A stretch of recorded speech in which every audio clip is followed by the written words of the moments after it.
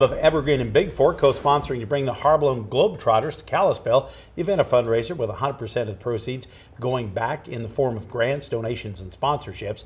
Orlando Melendez, the first Puerto Rican-born basketball player to play for the team, is in Montana now, kicking off a media tour ahead of the November 13th event at Glacier High.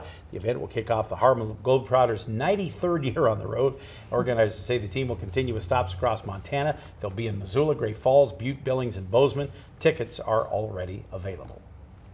This is going to be a show you can't miss this show. It's going to be so much fun and it's for such a worthy cause. We are been doing this for 93 years and the best thing about it is that we can create, our show is so good, it's so fun that we create memories that last a lifetime. And there's nothing better to see a younger, uh, uh, uh, uh older generation bringing their younger kids and grandchildren, great-grandchildren to tell them uh, how they enjoyed the Harlem Globetrotters back in the day, how we are now.